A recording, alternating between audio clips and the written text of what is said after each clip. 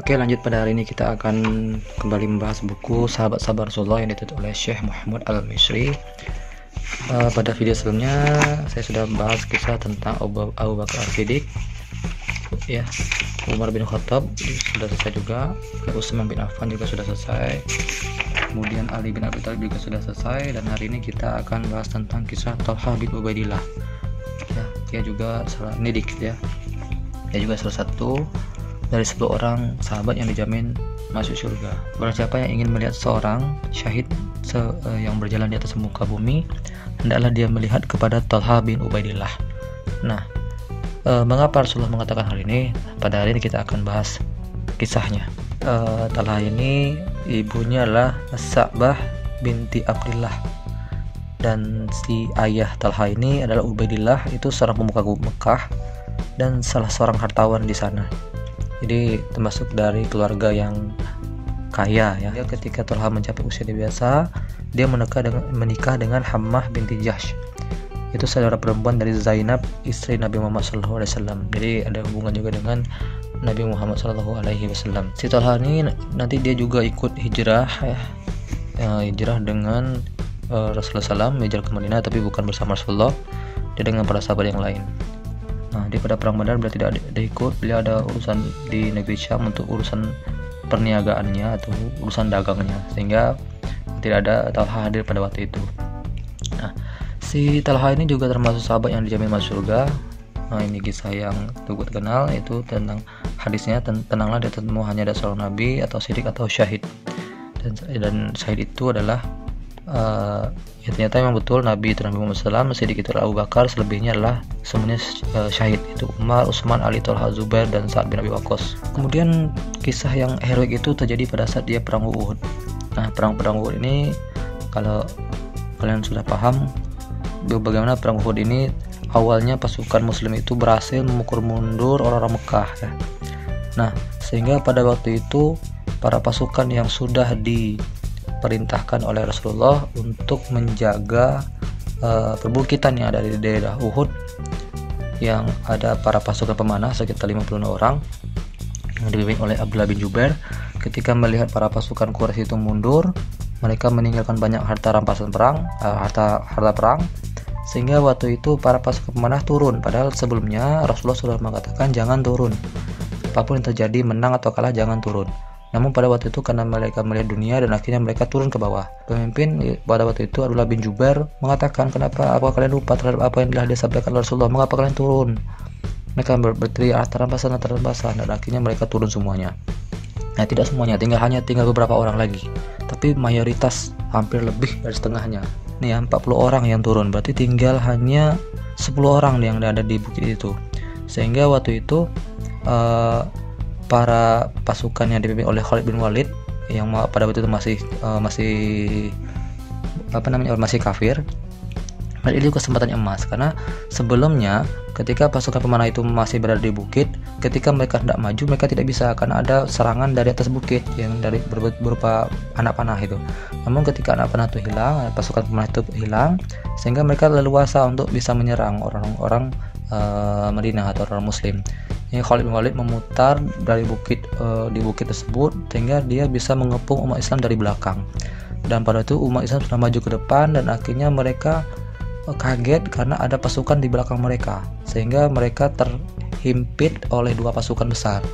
Ya di depannya ada pasukan dari Mekah di belakangnya ada pasukan Khalid bin Walid yang juga orang-orang Quraisy kafir Quraisy. Nah di situlah terjadi kekacauan yang luar biasa. Di sini uh, terjadilah berita bahwasanya Rasulullah wafat sehingga beberapa orang uh, sudah tidak lagi semangat untuk berperang itu kan. Tapi ada juga beberapa orang ya udah apalagi yang kita tunggu?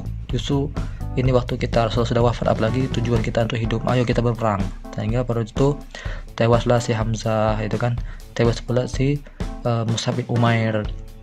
Nah jadi para sahabat-sahabat yang mulia itu banyak yang uh, tewas pada waktu itu banyak yang syahid pada waktu itu nah yang menjadi uh, kesulitan lagi adalah Rasulullah SAW karena waktu itu mereka menyerang secara mendadak sehingga Rasulullah SAW juga ikut uh, berusaha untuk menyelamatkan dirinya. Dan pada waktu itu yang bersama Rasulullah itu hanya ada 9 orang yakni tujuh orang Ansor dan dua orang Quraisy. Pada waktu itu orang-orang Ansor semuanya maju untuk melawan orang-orang Quraisy yang mendekat gitu. Nah Lalu bahkan Rasulullah mengatakan siapa yang mau menahan mereka dari kami maka baginya surga atau beliau bersabda dia adalah pendampingku di surga. Maka orang-orang Ansor bersemangat untuk bisa mendapatkan posisi e, menjadi temannya Rasulullah di surga. Namun pada waktu itu semuanya meninggal. Tujuh orang orang orang Ansor meninggal semuanya. Yang terakhir itu adalah Imarah bin Yazid bin As-Sakan. Ia berperang hingga sampai luka-luka itu banyak sekali di tubuhnya. Nah, sehingga tinggallah dua orang Quraisy ya uh, dua orang muhajirin yaitu uh, ia adalah Talha bin Ubaidillah dan Sa'ad bin Abi Waqqas. Dan pada waktu itu Sa'ad bin Abi Waqqas Rasulullah itu sampai me bersabda untuk uh, kepadanya lepaskanlah anak panahmu ayah dan ibuku sebagai tebusan untukmu. Dan ini beliau sangat senang sekali karena hanya pertama satu-satunya orang yang uh, Rasulullah itu menebus dengan ayah dan ibunya itulah Sa'ad bin Abi Waqqas karena beliau juga ahli pemanah Nah, sehingga saat bin Abi Waqqas itu memanah dengan sebanyak-banyaknya dengan doa Rasulullah Shallallahu Alaihi Wasallam. Nah, begitu juga dengan Tolha. Tolha juga turut menyerang. Pada waktu itu Rasulullah mengatakan, e, siapa yang menghadapi mereka? Maka Rasul Talha menjawab aku nih. Tetaplah di tempatmu.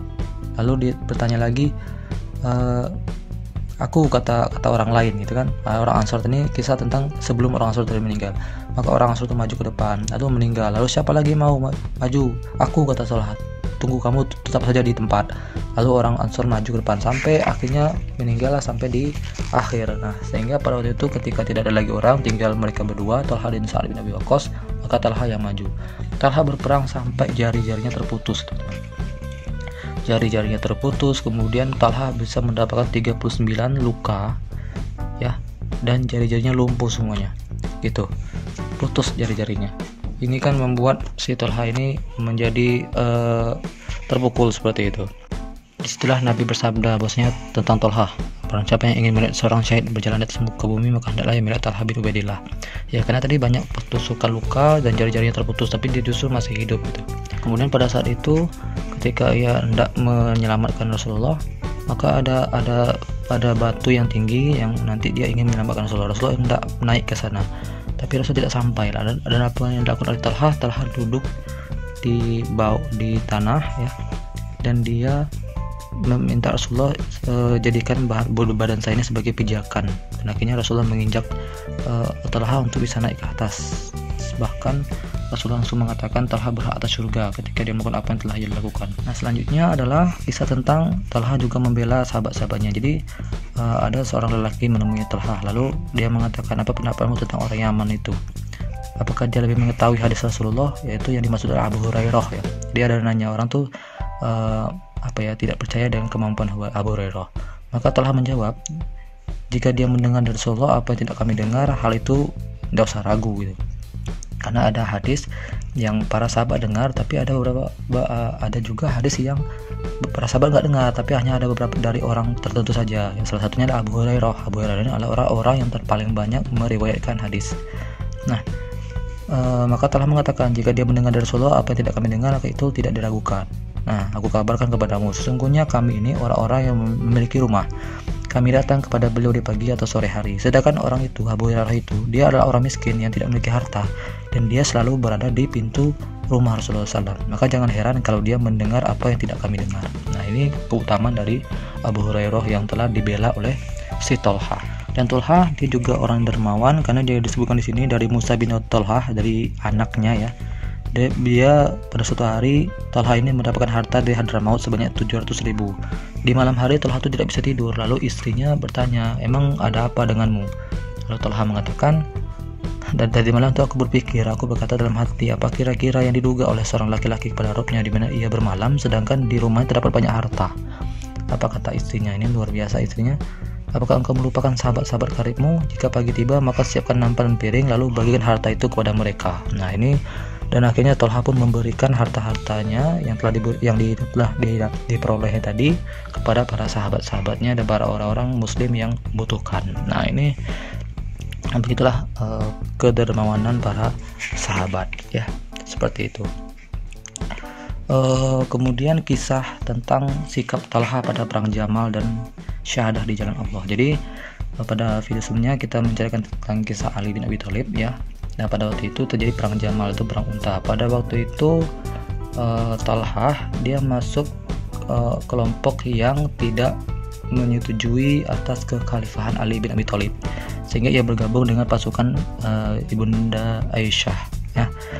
Nah lalu pada saat itu perang Jamal mereka uh, jadilah negosiasi pada waktu itu dan Ali bin Abi Thalib saya, saya katakan tadi karena dia cerdas lalu pada waktu mereka dia bernegosiasi dengan si Tolha sebenarnya pada saat uh, si Utsman bin Affan itu dikepung oleh para pemberontak si Tolha ini sebenarnya tidak mau ambil pusing pada itu. Dia tidak ingin terlibat. Namun ketika itu karena Utsman bin Affan wafat maka si Tolha dia mengambil sebuah uh, pendapat. Dia ingin membela uh, Utsman bin Affan. Dia ingin adanya hukum kisos bagi pembunuh Utsman namun pada waktu itu Ali justru dia melihat karena kondisi tidak memungkinkan untuk adanya kisos sehingga waktu itu si Tolha uh, tetap tidak setuju sedangkan Ali setuju untuk uh, nanti dulu kisosnya kita kita bersihkan dulu kita rapikan dulu uh, ya kita kita apa ya perbaiki dulu sistem uh, kondisi negara tersebut nah namun si Talha pada waktu itu tetap mengotot tidak mau dan akhirnya Talha bergabunglah dengan kelompok yang tidak menyetujui dengan kekhalifahan Ali bin Abi Thalib. Pada saat perang Jamal, mereka ketika hendak perang maka uh, dia bertemu dengan Ali bin Abi Thalib. Nah, Ali bin Abi Thalib ini dia berkata kepada si uh, apa Tolhah gitu kan. Nah, uh, tapi di sini sebelumnya dikisahkan nah Talha dan Zubair jadi Zubair bin Awam juga ada di pihak Ali dan nanti dia akan menyingkir dari perang kenapa karena dia melihat Ammar bin Yasir uh, ikut berperang di barisan Ali. Karena Nabi Muhammad pernah bersabda sebelumnya ketika Nabi Muhammad masih hidup. Disebutkan bahwasanya engkau itu dibunuh oleh kelompok pembangkang. Nah, Ammar bias ini karena dia berada di barisan Ali, maka kalau dia sendiri dia nanti terbunuh, maka yang menjadi pembangkang adalah kelompoknya Aisyah, Talha dan Zubair. Nah, tapi kalau misalnya Ammar itu berada pada posisi di di barisannya Aisyah, Talha dan Zubair, maka yang menjadi pembangkang adalah kelompok Ali. Nah, namun pada waktu itu Ammar biasa berada pada kelompok Ali, maka yang yang akan membunuh Ammar itu nanti adalah orang yang dari kelompok Aisyah Talha dan Azubair maka waktu itu Talha saat terdiri dan akhirnya dia mundur dari peperangan itu. si Ali juga mengatakan kepada si Zubair bin Awam ya. Ali bin Abi Thalib berkata kepada Zubair Aku bertanya kepadamu nih wahai Zubair apakah engkau mendengar Rasulullah bersabda jadi Rasulullah pernah bersabda sebelumnya engkau memeranginya sedangkan engkau dalam keadaan berbuat zalim kepadanya jadi Rasulullah ini udah tahu nih Zubair ini nanti akan memerangi Ali bin Abi Thalib dan pada waktu itu disebutkan Zubair ini nanti akan memerangi uh, si Ali ini dan sedangkan engkau itu dalam keadaan berbuat zalim kepadanya. Nah, akhirnya Azubair pun ingat dan akhirnya dia pergi. Namun karena mereka pergi dari peperangan dan akhirnya si Tolha dan si Zubair ini nanti dibunuh oleh seseorang. Ada yang mengatakan Amir bin Jurmus namanya yang membunuhnya, dan juga yang mengatakan Marwan bin Al-Hakam yang memanahnya. Dan akhirnya pada itu terkenalah anak panah si Tolha dan Zubair dan akhirnya mereka berdua meninggal pada waktu itu. Nah, jadi itulah kisah Talha bin Ubaidillah dan akhirnya nanti tuh tuh Talha bin Ubaidillah ketika setelah meninggal beliau 30 tahun setelah kematian Talha itu jadi ada yang men, uh, meminta memerintahkan untuk mengangkat jasad Abu apa namanya memindahkan kuburan si Talha ini. Dan ternyata ketika digali Masya Allah jasadnya tidak berubah. Masih seperti orang yang hidup masih utuh hanya beberapa helai rambut saja yang uh, berubah itu. Nah ini masya Allah. Allah menjaga Talha jasadnya. Berarti ini saja kisah tentang Talha bin Ubaidillah di video selanjutnya kita akan bahas tentang kisah Az-Zubair bin Al-Awwam